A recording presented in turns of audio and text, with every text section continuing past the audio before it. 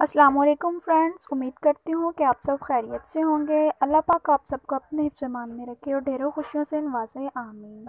Friends, आज की video में आप लोगों के लिए लेके आई हूँ विंटर कैजुअल फ्रॉक डिज़ाइंस आप इसको कैजुअली घर में भी या उसके अलावा कहीं आने जाने में या किसी फैमिली फ़ंक्शन में या किसी भी छोटी सी पार्टी या कोई इवेंट हो, आप उसमें वहाँ उसको वेयर कर सकते हैं। आज के डिज़ाइन में आपको कैजुअल फ्रॉक डिज़ाइन के बारे में बताया जाएगा। इसको आप इजीली स्टिच भी कर सकते हैं और आपको कैरी करना भी बहुत ईजी होगा। अब हम बात करते हैं कि हम अपने फ़्रॉक को कैसे खूबसूरत बना सकते हैं और इसमें किस तरह के कैजुअल डिज़ाइन आपको यहाँ पे डिस्कस किए जाएँगे। सबसे पहले हम बात करते हैं, जैसा हम हर वीडियो में डिस्कस करते हैं कि अपनी फ़्रॉक को, अपने सूट्स को, अपने ड्रेसेस को खूबसूरत बनाने के लिए हम मुख्तु फैब्रिक का यूज़ करते हैं, जैसे कि सिल्क का शमोस का। उसके अलावा अगर हम विंटर ड्रेसेस में देखें तो खद्दर वगैरह का हम यूज़ करते हैं।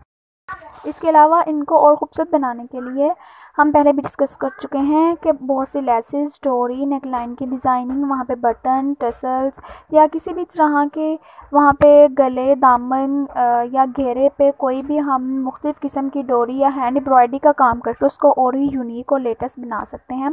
पेपलम और उसके साथ साथ बेल बॉटम के डिज़ाइन आइडिया भी यहाँ पर दिखाए गए हैं, जो आजकल बहुत ही है किसी फ़ंक्शन में, किसी भी पार्टी में, किसी भी बनारसी, जॉर्जेट टिशू कपड़े पर ज़्यादातर पेपलम और बेल बॉटम के डिज़ाइन दिखाए जाते हैं। अगर हम शॉर्ट फ्रॉक की बात करें तो उसमें चूनट्स डाल के उससे और ही खूबसूरत नज़र आती हैं। उसके अलावा प्लेट्स डाल के प्लेट्स और चुनट के इस्तेमाल से हमारी फिटिंग उसके साथ साथ खूबसूरती में भी इजाफा होता है। अगर हम फ्रॉक के डिज़ाइन में बात करें तो अंगरखा स्टाइल बहुत ही इन है। उसके साथ ओपन फ्रॉक शर्ट्स भी हैं, इसमें दिखाई गई हैं।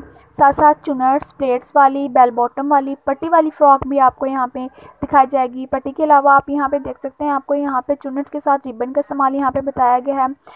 और अगर हम बात करें शर्ट्स फॉर्म में, कुछ फ्रॉक शर्ट्स फॉर्म में भी होती हैं जिनमें वो ओपन होते हैं या साइड से, चौक वाली साइड से ओपन होती हैं।